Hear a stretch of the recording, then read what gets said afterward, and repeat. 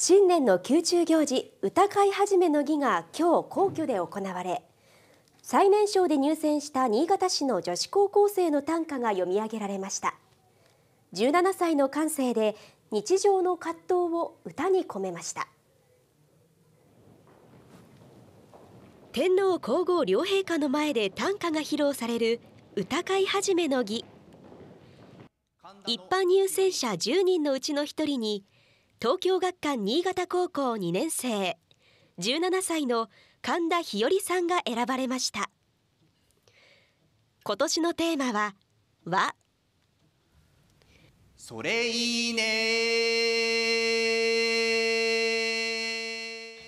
それいいね。不和雷道の私でもこの恋だけは自己主張する。神田さんは気持ちと反するようになんとなく打ってしまう相づちその日常の葛藤を五七五七七の31音に込めました。先月学校で会見を開いた神田さんは短歌への思いを話していました。私が思ってなくてもいいねとか同調してしまう瞬間を描きました。自分の直したい葛藤を短歌にしてみました。